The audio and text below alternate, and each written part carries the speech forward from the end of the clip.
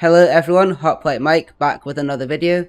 Today I'm bringing you an easter egg video for Total War Rome Remastered.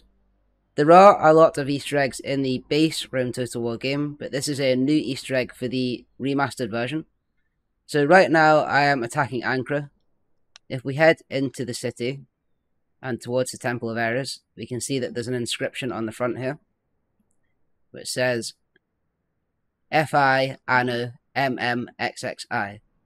So I believe FI stands for Feral Interactive, being the developers of the game.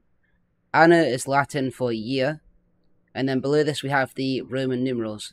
So M stands for 1000, X stands for 10, and I stands for 1. So altogether we have 2021. 2021 being when the game was released. I believe most buildings that have inscriptions have a similar design. So if we head over to the Governor's Palace here, we can see it's got a similar inscription on the front.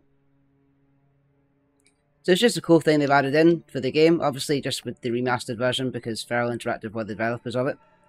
Um, I hope you enjoyed the content. If you did, please like and subscribe and leave a comment. Thanks for watching and I'll see you in the next one.